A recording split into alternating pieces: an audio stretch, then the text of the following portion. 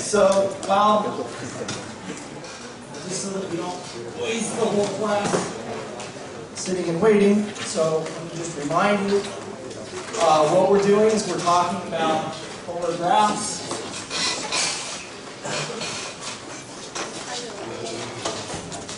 And so this means that we have something described in it. So polar coordinates, we have, we give the angle, we give the distance from the origin, from the origin to give a, play, a point.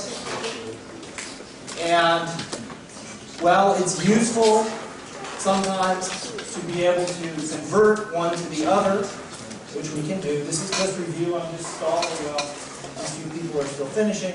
We use uh, the fact, definition of the cosine and the sine relate r, x, y, theta, whatever. So r is the cosine of theta. What am I doing? x is r cosine theta. Just from the picture. y is r sine theta. r squared is x squared plus y squared. And theta is the arctan of um, x. So maybe it's a arctan, let's say.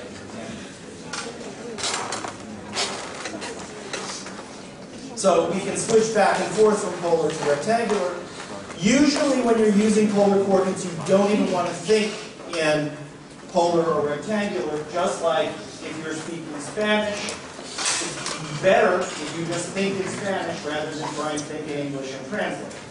So the power of polar coordinates is you a better way to describe curves that are hard, if not impossible, to describe in terms of rectangular coordinates.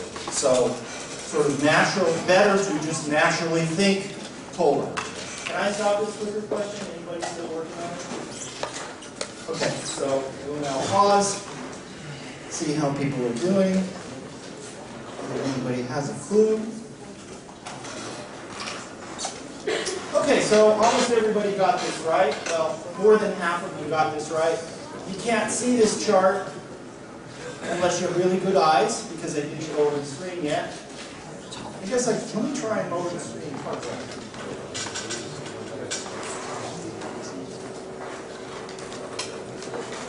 You can see what it looks like when I put it. Maybe a little more, that's probably enough. So you can see that most of you know that the right answer is 1 plus the sine. The way to figure this out, since I'm giving you a choice, is to just test some points. So not to try and convert one to the other, although you can do that, but just think about what's going on here. When the angle is 0 degrees, well, we go through some positive number. And so that already, well no, all of these go through 0, 1. Well, except this one. This one goes to 0, 2 in rectangular. So all of these are sort of a good candidate. But now think about what happens to the sine as the, or the cosine. What happens to the cosine as the angle increases is that the cosine decreases. And so if we went, and the cosine of pi over 2, or straight up, is 0. So that would mean that if it were 1 plus the cosine, this should come in. It should be closer here. It should be closer here than it is here. But this one's further here than it is here. So that rules this one out. Uh, 1 minus the sine, as the angle increases, this should go down to 0 because, because the sine of pi over 2 is 1. So I would have 1 minus 0, 1 minus 1, which is 0. That means that when I look this way, I should be hitting the origin. So if it were 1 minus the sine, I would want to do something like that. So that rules this guy out. This guy is still uh, in the running. Um, because this goes from 1 to 2 And it increases. If you look here, this angle, this distance gets longer and longer as I go up. And then as I continue, uh, the sine is going to decrease down to negative 1. So it will be decreased back down, right, because the graph of the sine looks like this. So the radius will decrease back down to 0 when I'm looking this way. So I should be symmetric here. I should decrease back down to the same distance here, but looking the other way. Again, this one is matching. This one is not doing the right thing. And then as I continue even more, it should decrease, because now I'm in the negative signs, I should get radii less than 1 down here. So all of these radii are less than 1. So this one is really the only one that's viable out of these choices. So that's sort of a way that you can look at it, compare it to a known equation, and say, yeah, that's reasonable. Um, so, oh, where the, oh. So, may be guard, I don't know. What I want to do for the next couple of minutes is actually uh, show you, so plotting polar graphs, just like plotting any kind of graph, is a little bit, let me get rid of this, sorry, is a little bit, I don't know, tedious to do by hand, and computers are very good at this sort of thing. So, for example, if I just did the one that's on the board there, oh, except they called it T, not yet. Ah, jeez, come on. Okay, let me make my size bigger so I can. So if I want to plot 1 plus the sine of t, there it is. Looks kind of like what I drew. And again, you know, you just think about what's going on with the relationship of r. Now, essentially what I want to do for the next, I don't know, five minutes or so is just play with this, give you some sense of what other sorts of things we can see when we, when we mess with polar graphs. And then I want to turn to actually doing some calculus with polar graphs. Um, so maybe, you know, instead of changing this t uh, note, well, you can't see here, but I'm tracing out more than 2 pi here, and it's just running over the same graph every 2 pi. So for example, if I just went up the first half from 0 to pi, then I just get the top half of this business, and then from pi to pi over 2, I mean to 2 pi, I pick up the bottom bit. Okay, so it's just going around and around, this little touching there. But the way that I've, you know, put this is very sensitive to this 1, because the sine is 1, is negative 1 here, which means that it will just touch the origin at some place. So if I increase this constant here a little bit, from 1 plus the sine to say, I don't know, 3 halves plus the sine. What do you think is going to happen? No one has a clue? Go ahead, you're making finger motions, you can tell. It'll get taller towards the top. What'll happen on the bottom?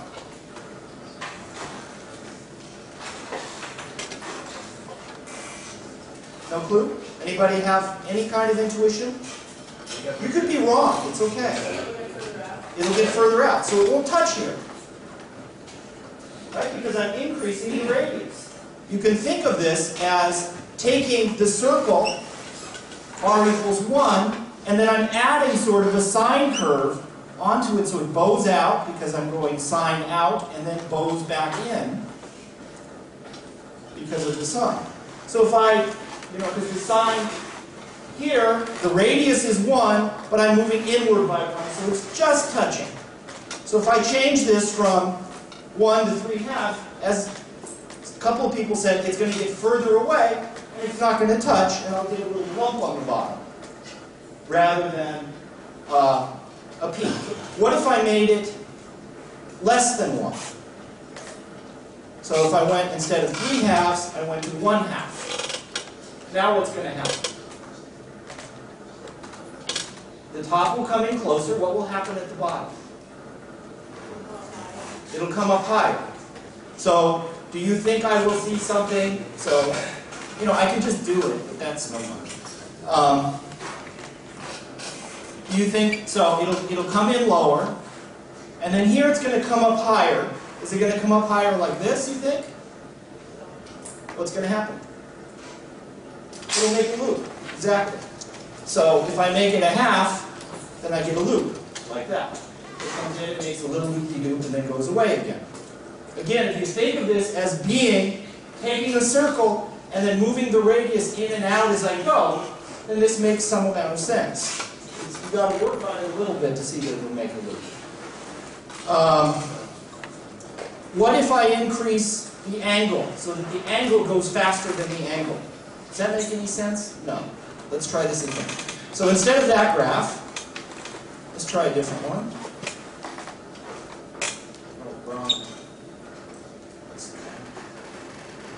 So instead of doing that, so let's just, we talked about this one last time, r equals sine of theta, just gives us a circle like that. What if, instead of being the sine of theta, I make it the sine of 2 theta? So let's think about, so remember, let's remember here, when r is sine theta, this actually sweeps out this circle. Let me first do the first quarter. So when theta goes from 0 to pi over 2, I get the, the one side of the circle. And then when I go from pi over 2 to pi, I get the next side of the circle. And then as I go from pi to pi over to, to 3 pi over 2, then I get the same side of the circle, but looking backwards. Oh, come on. So when I go from pi to 3 pi over 2, this is a little harder to see. The angle is down here, and we're going backwards because the sine is negative in this in the lower two quadrants. So the radius is negative, so I'm going backwards. I'm looking this way, but my distance is back there. Okay? So again, we're a little if I if I just so let's just go the whole two pi business. Zero two times pi. So this is traversing the circle twice. Once in the, in the first and second quadrant, and then the second time with the negative r when theta is in the third and fourth quadrant. So for every pi, it goes around the circle once. What if I just multiply a constant here? What's going to happen? It'll get bigger. So all I get is a bigger circle. Nothing interesting there. You probably can't even see that it goes through 3 now instead of 1. What if I put my constant inside the angle instead? So instead of looking at sine of pi, or sine of theta, I'm going to look at twice the angle. Now something very different will happen. In the first quadrant, let's just look in the first quadrant to get an idea of what's going on. So I'm just going to go from 0 to pi over 2. Well, when theta goes from 0 to pi over 2, what happens to the sine of theta? It goes from 0 to 0, passing through 1. I'm sorry. When theta goes from 0 to pi over 2, the sine of 2 theta goes from, from, from 0 up to 1 and then back down again. So that means that instead of being at its maximum angle here, be at its maximum here. So instead of going out and in in the first quarter term, I'm going to go out and in in the first quarter of a term. I said quarter twice. Instead of in the first half turn, I go all the way out and all the way in. I do it in a quarter of a turn. So I'll have something that would look kind of like a circle, but I squash it all over here. So it gives me a little loop over there. Now if I continue, now I'm looking in this quarter, this is my angle here. As my angle ranges from here to here, what does sine of twice that angle do?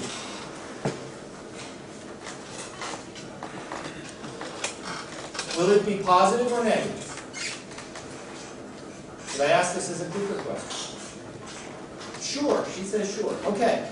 We'll, so, so my question is, sine of 2 theta, when theta is here,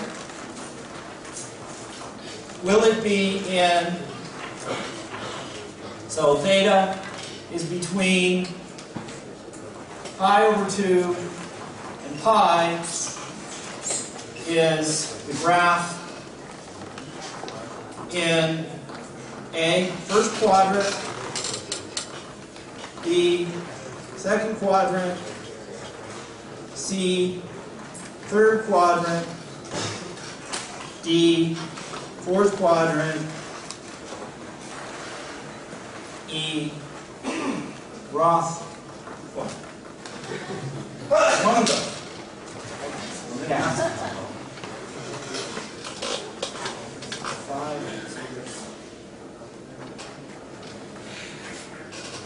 Did I? Okay, that's good.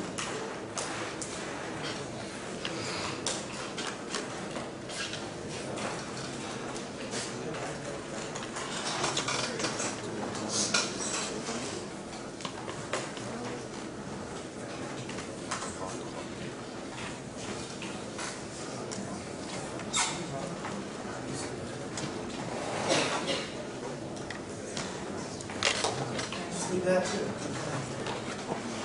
Um, oh. So I would like you to answer this quickly because we do have to get somewhere. It's either, it's channel 26 or 41.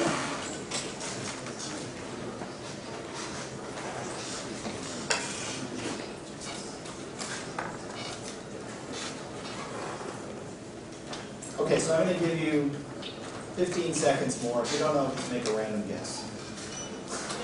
Or don't, whatever. Okay, so what did we get? I'm going to stop this now. Stop. Or you, no, too late. Stop. So, it seems that nobody thinks it's in Roth quad. Uh, it's either in the second quadrant or the fourth quadrant. So let's think about which it would be. So theta is between pi over 2 and pi. And so the sine, so that means 2 theta is between pi and 2 pi. So when 2 theta is between pi and 2 pi, the sign is positive or negative?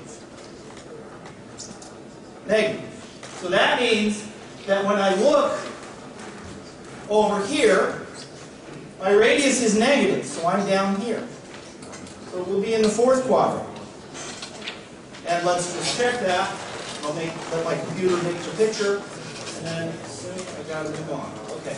So here, if we go from pi over 2, let me get rid of some of this junk that's cluttering the screen.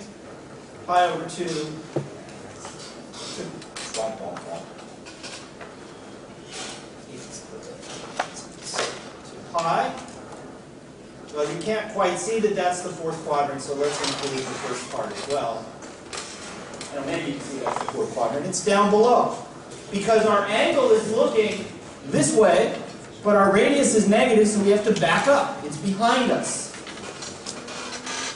And then as I continue, when I go from pi to 3 pi over 2, when I'm here in this quadrant, again, I'm looking negative, so it will be behind. And so if we do the whole business, well, let's just look at the next section. So I go from pi to pi times 3 over 2. I'm sorry, it's positive again. Sorry, so the radius is positive. I will get these straight because it's the sine, not the cosine. It's positive again. And then in the next quadrant, it's negative again. So what's happening here in the curve, in the first quadrant it's here. Then when I'm looking over here, r is negative, so I get this. And then when I'm looking over here, r is positive again, I'll get this.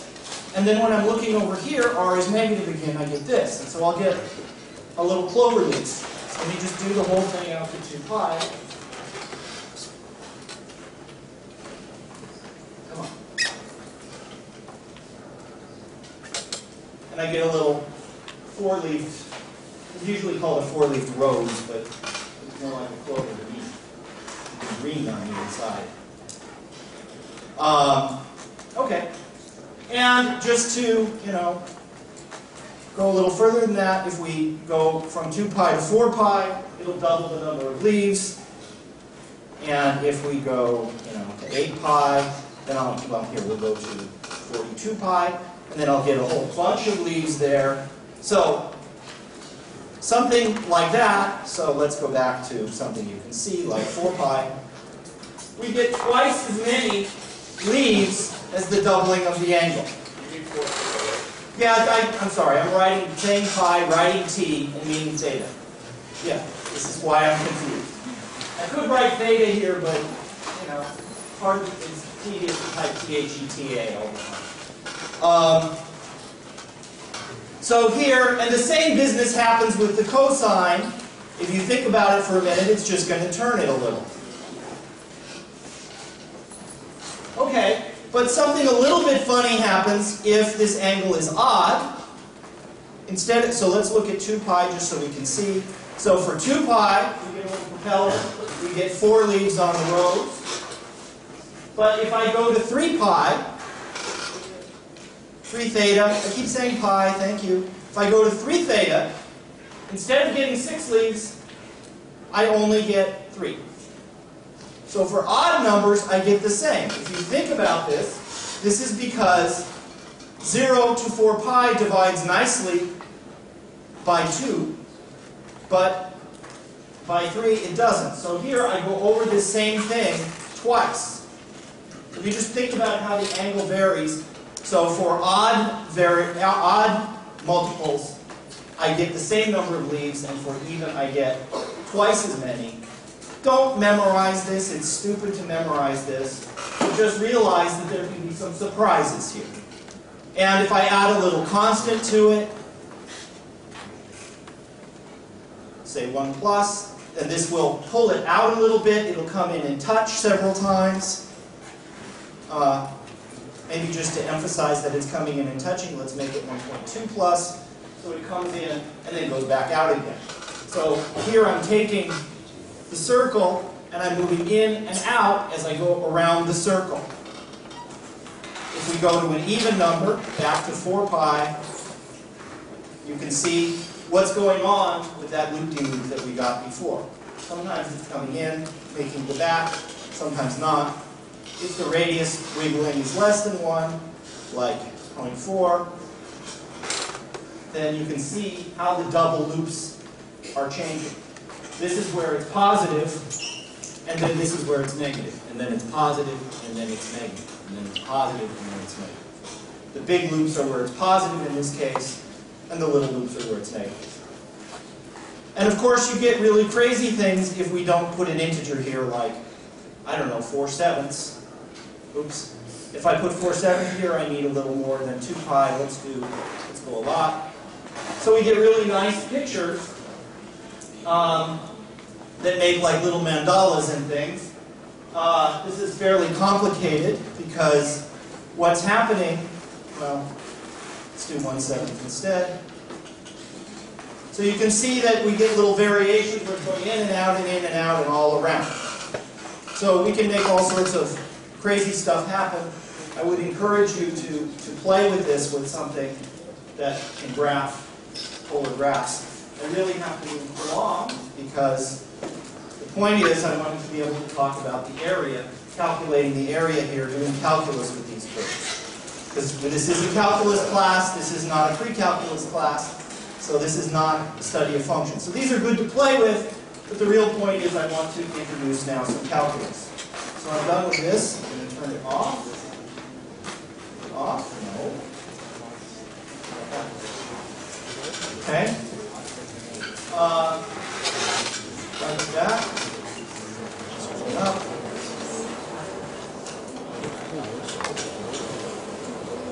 Okay. So, one of the things, it still on? one of the things that calculus is useful for is taking derivatives. So if I have some function like, let me just draw it this way, r equals f of theta, I can certainly take the derivative of r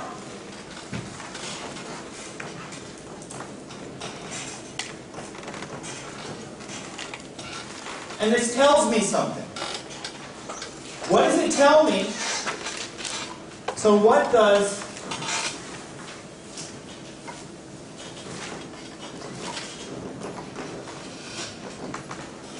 uh, f prime of theta equals 0 mean? What is this telling me is happening with the graph? If the derivative is 0 The derivative of r with respect to theta. Reaches the max? It reaches either a max or a min, or maybe a, a flat spot. So it means that f of theta is a critical point, which is, it's a max, a min, or maybe an inflection point. So in terms of a polar graph, this is telling us, so again, remember, we're talking about the radius.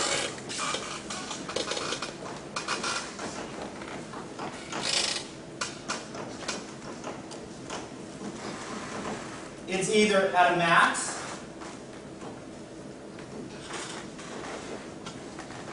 or a min. Uh, I'm assuming we're in the first block.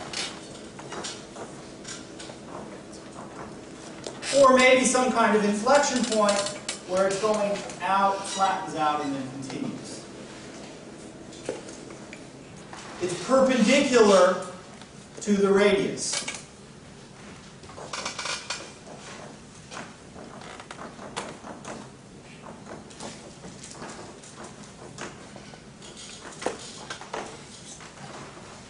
Right? So this tells you the same kind of thing. Also, if the derivative is infinite, it means it's parallel to the radius. Right? If f prime of theta, losing track here. What is this?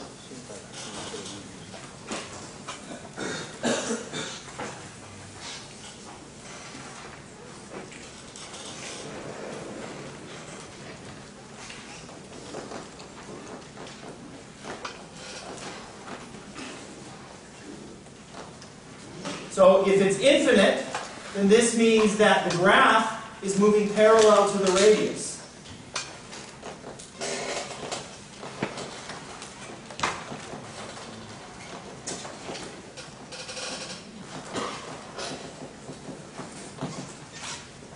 So here, here's my, my angle that I'm looking at, and the graph is going to be like this.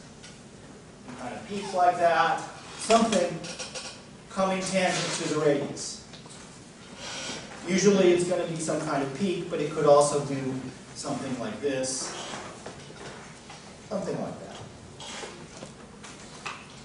So, I don't really want to focus a whole lot on that, because really the focus of this class is not on differential calculus, although this is a context in which you're thinking about derivatives slightly differently. Um, so this is to just give you some sense of how the derivative is useful in other contexts. You just have to change how you're thinking about it a little bit. In fact, polar coordinates are an example of something more general called parametric equations. Usually the focus in parametric equations, at, at Stony Brook anyway, is done... Why does it seem like how all the lights are? Because they aren't. Okay. Uh, usually the focus on parametric equations at Stony Brook is done in Calculus 3, in Math 203, or Math 307, or AMS 263. I don't remember the number. Does anyone know? calculus three for applied math? No, whatever it is. I used to know it, I knew it, except for today. Anyway, the focus in parametric equations, so parametric equations is, is how it's useful to describe curves in space, and really this is part of the focus of calculus three. So I don't want to do a lot of this. Okay, but now let's turn to the idea of area, because this is really somewhat relevant to what we've been doing.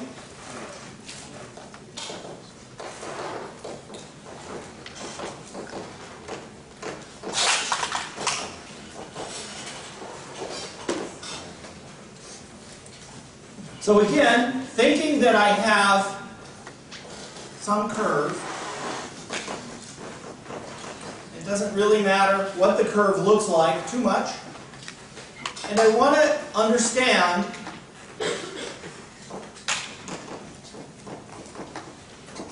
well, no, I don't want that. So I want to understand how I might find the area inside such a curve.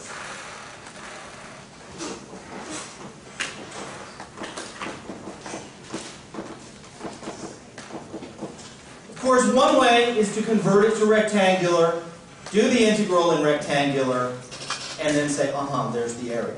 That way pretty much sucks, because a lot of times you can't do the conversion, or you get something horrible. Um, but here we can just sort of think polar, and think about, obviously it should have something to do with the integral. But we don't want to just integrate f of r. I mean, r equals f of theta, because that will not give us actually what we want. So let's think about, let's say, you know, maybe this looks like a circle. Let's do something a little more complicated. Say I have a loop like that. So I'll just do the exact, this example that I just did. r equals, well, I'll just do it as f of theta, but you can think of f of theta as being the sine of 2 theta. And how would I get the area of this loop? So I would do the same kind of thing that we do to get the area under a curve like this. We chop it up into little bits, but instead of my bits being dx, my bits will be d theta. So I want to cover this in little sectors which sweep out the graph. Where the angle here is some little fraction of theta, d theta. And I want to think about what is the area of this. So I want the area such a little slice like this. So the area here would be the integral from theta equals, let's just call it A, to theta equals B. And let me not write down what it is, let's just say the area of the little wedge.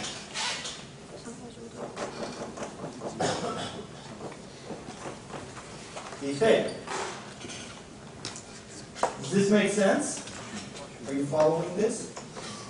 So if we figure out how to calculate what the area of the little wedge is for a tiny angle d theta, then we can figure out the area of the whole thing by adding up the areas of the infinitesimal wedges, that is, integrating d theta for little wedges. In the same sense that we found volumes by adding up the volumes of infinitesimal little disks or cylinders or whatever. And the same way that we found work by adding up the amount of work over an infinitesimal time unit or distance unit. So it's the same idea that we've been doing already. We figure out what the area of a slice is, and then we integrate that area to get the whole thing. Okay. Well, I guess the d theta is in here, right? The d theta is be here. Otherwise, it'll give me a volume. It's just the area of these, where this is d theta. So let's figure out what the area of such a slice would look like.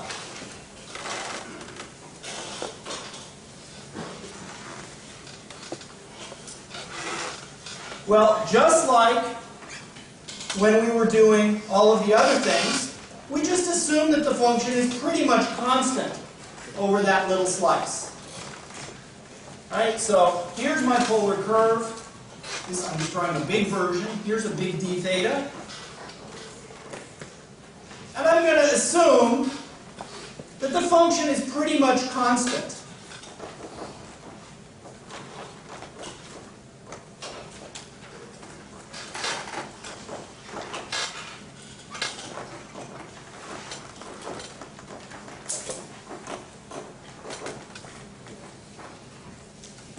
A number. It's r. It's just f of theta is r. r doesn't change. Here's the origin. So this distance here, and I want the area of this piece of pie. And the piece of pie is going to get smaller and smaller and smaller because you know, initially we start with four people and we say, oh, let's have some pie. And now I decide to split one pie among everybody in this room, very small slices. Right? You all get about a hundredth of a pie. It's a pretty small number. It means you get to like live beside it. And then we all get sick. Okay. Um, okay, so here we have our little slice of pie, and we want to figure out what's the area of this slice of pie. Well, it's a piece of a big circle. Right? It's just a big, I have a circle of radius r. What's the area of this?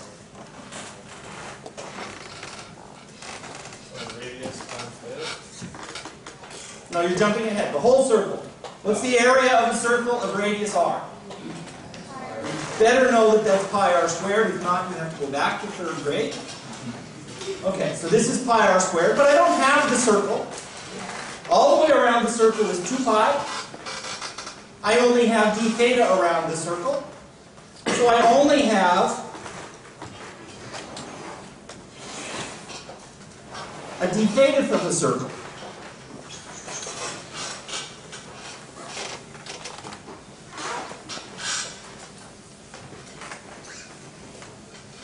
So the area of a d theta of a circle is pi r squared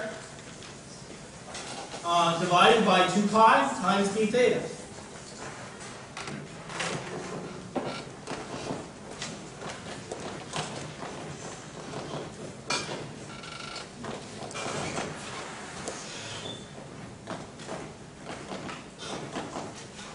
So the amount that I have is d theta of 2 pi of the whole circle times pi r squared, which is, the pi's cancel, and you give me 1 half r squared d theta.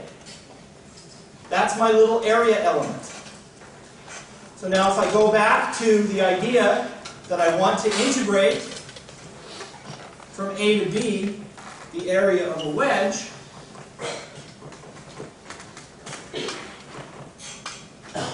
well, r squared is f of theta. R is f of theta. So the, the area of a little wedge is that. So what I want to integrate is just, I lost my pi. No, I did lose my pi. That was on purpose. So, is just 1 half the value of the function squared d theta.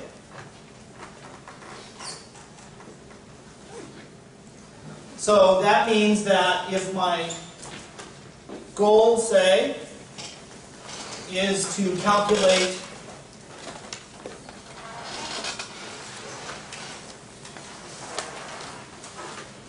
the area of one, well, so if I want the area of uh, say r equals sine 2 theta. Well, now I need to think about, so one thing I need to think about is, so remember that the graph of sine 2 theta, well, my picture's bad already.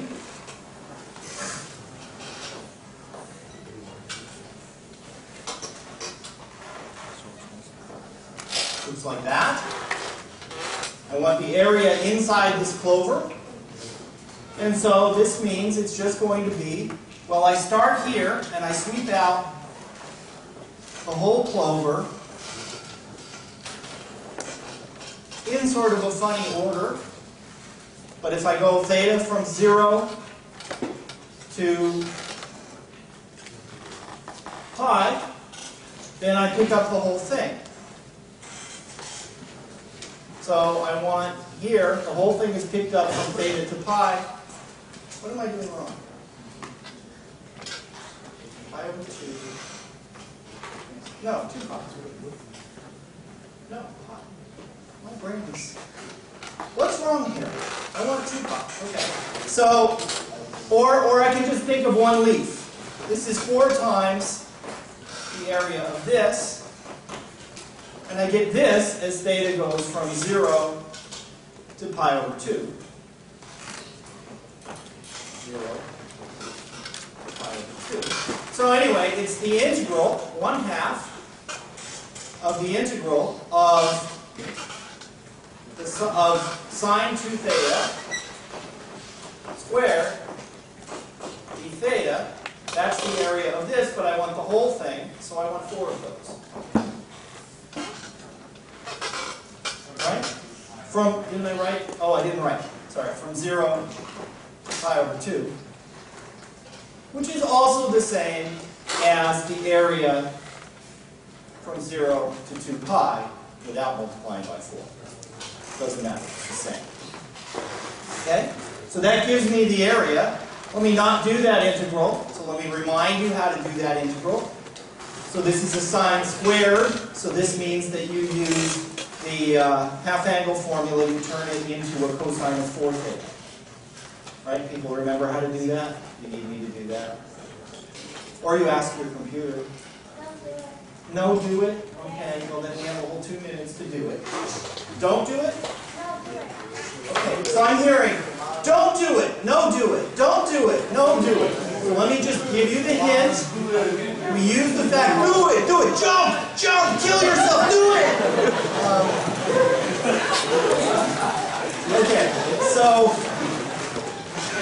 um, we use the fact that sine squared of theta is 1 half 1 minus the cosine of 2 theta. Right? So in this case, instead of having a theta here, we have a 2 theta here. So I have sine squared of 2 theta is 1 half 1 minus the cosine of 4 theta. And so this integral